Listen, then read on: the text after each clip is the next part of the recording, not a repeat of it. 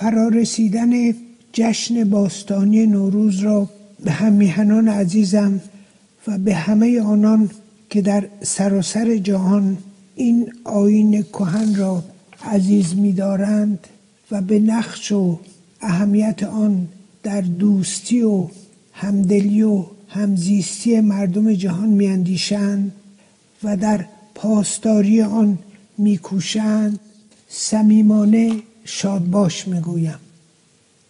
نوروز نماد پایداری ایران و پیوند ناگسستنی ایرانیان با فرهنگ و سنت های باستانی ایران است. این آین کهن در کنار مردم ایران از فراز و فرودهای تاریخ گذر کرده.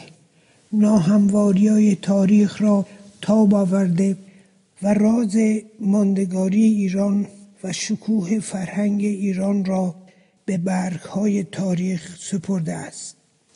من در کنار شما نوروز را که رستاخیز طبیعت و رویش و قد برافشانی شاخه است که فردایی روشن را نوید می‌دهد برگزار می‌کنم.